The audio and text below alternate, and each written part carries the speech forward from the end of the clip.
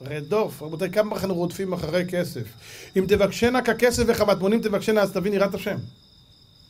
לכן אני אומר, כל אחד מאיתנו צריך לדעת, אחים יקרים, אנחנו אוהבי שלמות. בואו נשאף לשלמות הפנימית האמיתית שלנו, שהיא תישאר לנצח. לנצח.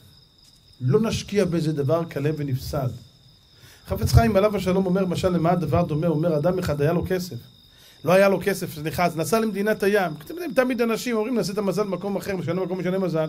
אז הלך לחוץ לארץ, בזמנו נוסעים עם ספינה, חודשים בשביל להגיע לחו"ל.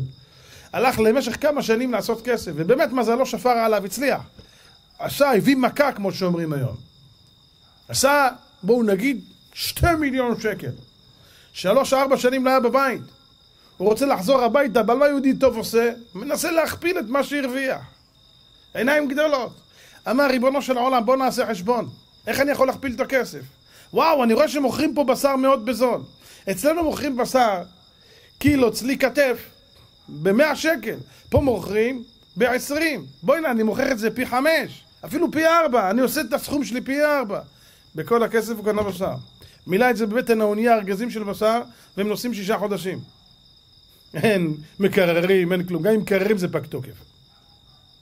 מה קרה? באמצע ההפלגה, יום, יומיים, שלוש, צחנה עולה עד לשמיים. ריח של בר מינן של נבלה. רב החובל צועק, מה זה פה? מה יש כאן? מה זה? עד שגילו שיש לו שם בשר. אתה מטורף! לא מספיק שהפסיד את כוס כספו, צעקו עליו וביזו אותו, וזרקו לו את הכל למים. באו הכרישים, עשו נברך שאכלנו בשלו. עשו זימון. ברוך שאכלנו בשלו ובטוח היינו, נהנינו לו עם הראש, חזק וברוך, אשריך, אין עליך, אין כמוך. הלכו הביתה. הוא הגיע הביתה, כל המשפחה מחכה, נו מה הבאת? קדחת. חמש שנים הלך ולא הביא כלום. רבותיי, זה הלך רק חמש שנים. בן אדם הולך לעולם הזה 70, 80, 90, 100 שנה, כמה שיותר, עוד יותר גרוע. כי הביזיון עוד יותר גרוע. 100 שנה היית שם, הבאת? אכלתי לאפה, אכלתי כאפה, אכלתי זה, זה, אני יודע מה, בקלאווה, אכלתי קבב, אכלתי שישליק, טיילתי. ומה הבאת? מלא תולעים. זה מה שהוא הביא. אוכל לתולעים. התולעים עושים זימון, נברך שאכלנו משלו. אכלנו אבו אבו אבו אכלנו.